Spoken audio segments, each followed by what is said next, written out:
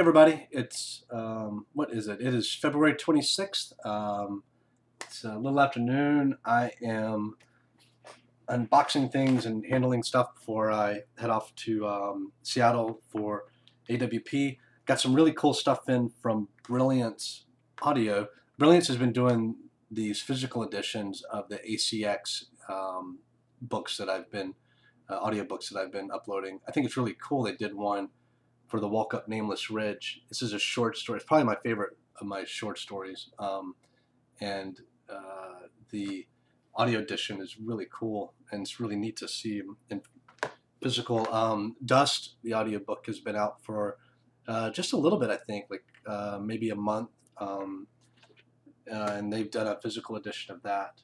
Um, really inexpensive too, 19.99 for the for 11 compact discs. I'm not sure how that works out. I remember paying 20 bucks for one audio CD of uh, for music back when back when you still did that. This one, this is really cool. This is the Peace in Amber audiobook. What's neat about this, I, have been too scared to listen to this, by the way.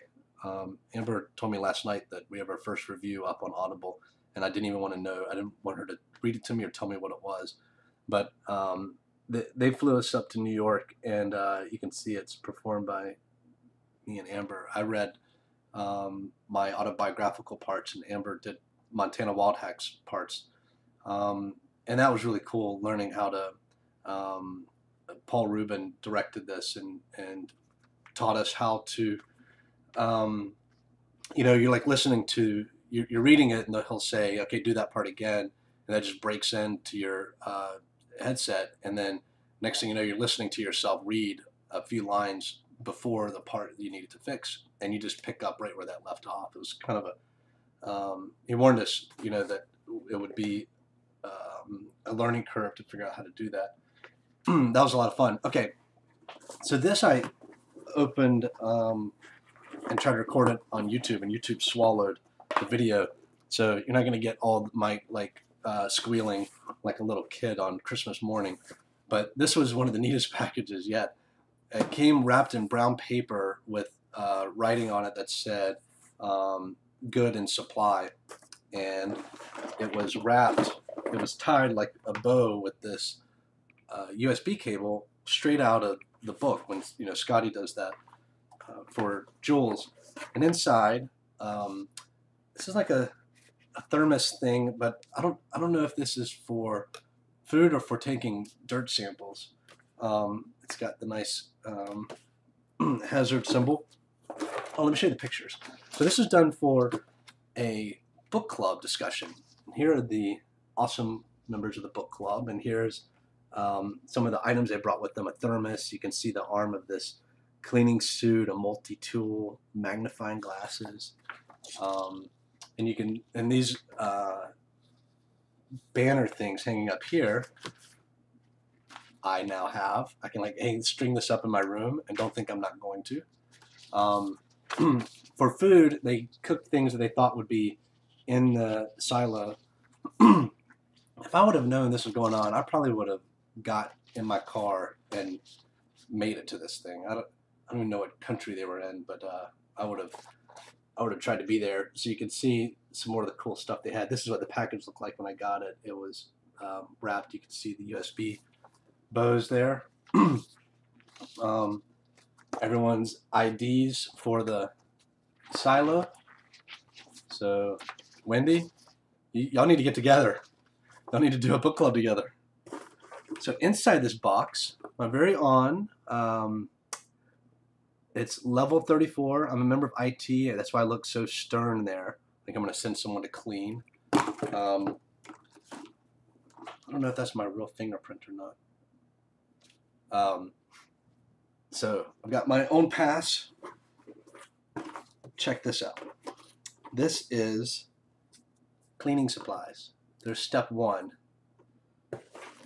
Step two, a piece of wool.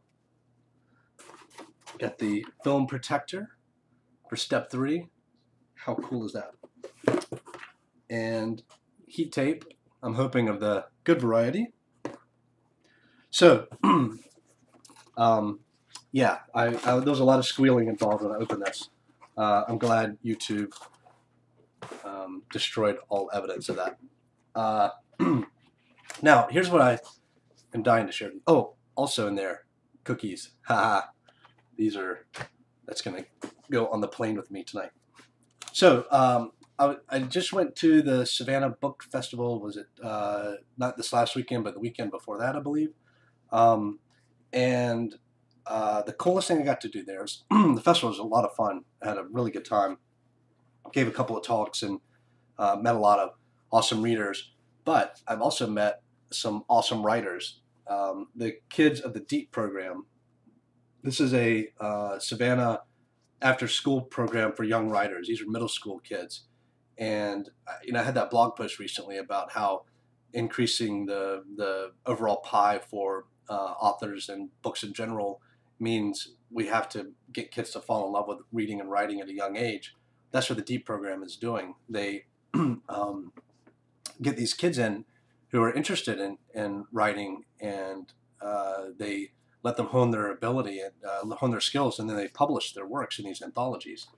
Um, I was waiting to get my talk, and I picked up one of the anthologies, and I was blown away. I had no idea uh, how old these kids were. I thought maybe they were high school kids, and even then, I would have been really impressed. I found out they were 9, 10, 11 years old, and I was blown away. So this has been my um, all my reading lately has been uh, in these anthologies, and I thought I would share a few of these. Just um, they're too good not to. So um, I'm going to start with uh, Kendria Jones. It's really neat that they have their pictures and a little bio here, and then their um, their poems. So the, this first poem I'm going to read is called The Runaway Kids. A thousand shoes hanging on a tree, they belong to the runaway kids, the poor, the hurt, the shamed and rich. Kids come here to forget all their troubles. They want to be free. They take off their shoes and run. The rich girl leaves her shoes because they don't define her. People always look at what you have to see who you are. The boy leaves his shoes because he knows he can fly without those Jordans. He takes off his shoes, ties them, as he jumps to hang them on the tree and leaps six feet in the air. He never knew he could fly that high. I love that point. It reminds me of a song by David Wilcox uh, about this woman in this relationship. She goes to Africa and, and finds herself and running from a hyena as she jumps and um, she's hanging from this uh, low, the lowest branch of this tree, and her feet are like four feet off the ground. And and this realization that she can jump that high uh, liberates her when she goes back to her, her, boyfriend, who only cares about his Camaro. It's a beautiful, it's a wonderful song, one of my favorite folk songs uh, of all time. Um, next, uh, this is another poem about shoes. Uh, I um, I recorded myself reading this earlier, and uh, I had to um, redo it because uh, it, I don't know why I have a re- reaction to this poem, but uh, I feel fine now, so I'll be able to get through it. This is from Truasia Banks. Um, see this beautiful young girl, her little bio, and then her very short but so sweet poem. It's called My Shoe is Me. My shoe is rough and worn, like a building that is so old it starts to slowly come crumbling down, piece by piece, pebble by pebble. But when I dance in them, they are bright and shiny and new. Just like my life, it is sometimes rough, like a driveway that is covered with pebbles. I gracefully dance through it, and it suddenly becomes brand new. I try my best to always flow like a gallant stream and be free to everything, moving myself through life. that is such a, a poem about, I don't know, it's it's so uh, life affirming, and the idea that the the shoes are, are, defined by what she does while wearing them is, is beautiful to me. That um, you know, there's it's all about how you frame things and how you look at them. Um, yeah, I mean, it starts that her shoe is rough and worn, and in the end, it's um, her dancing and, and how new and beautiful the shoes are. and and very in a very just a handful of lines just conveys a whole lot of emotion. Um, Yusuf MacArthur is the poet laureate of the group. I think you know this is something they rotate. I'm not sure if he if he currently is. This is the fall 2013 anthology. Um, uh, I think it helps to think about the size of Yusuf. Yusuf is a tiny child. Um, when I was, I remember being in school, my backpack felt like, I mean, these massive books they would make us carry, and we would have to have several periods at a time. And I remember thinking like they were trying to kill me with the, the weight of these bags. And Amber, who was also a small child, had um, a bag with wheels on it in order to get her books around when she was uh, in middle school and high school. Um, Yusuf wrote a poem about his book bag, and I, I think it's I think it's absolutely brilliant. Um, uh, the title of the poem is "The Weight on My Shoulders is Red," and I think that I just love this title. So this is by Yusuf MacArthur. The poem is "The Weight on My Shoulders is Red."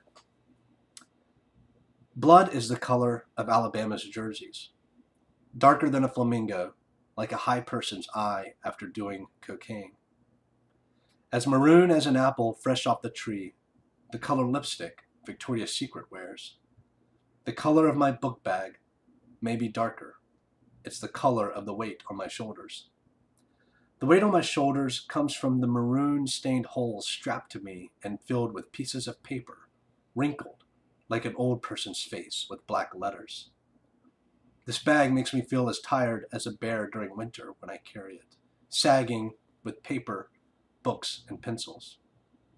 I feel like there is a 10 ton elephant on my back just hanging, an elephant meandering in the desert. Hot and tired, ready to collapse, I am dragging from school all the way home, sounding like a snake slithering through the leaves feeling like a teacher after a long day of stubborn students. I feel as lazy as a sloth on a rainy, gloomy Sunday afternoon. My bag carries all of the irritating things God could think of, like sinning on Sunday during or right after church. It carries all of the things that hold me down in the world. I feel you, Yusuf.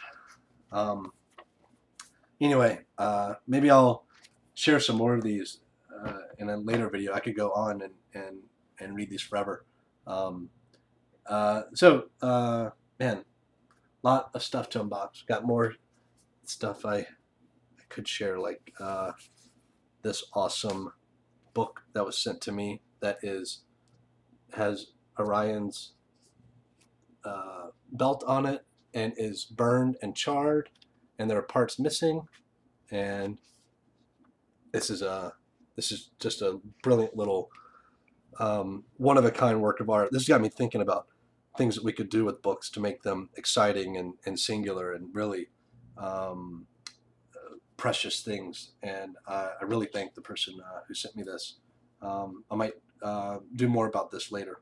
But uh, anyway, uh, thank you guys for all of the love, and thank you to all the um, kids at the DEEP program who came out and for sharing your work with the world. And thanks to the um, university students who volunteer with them and the library for putting this program together. You guys do an amazing job.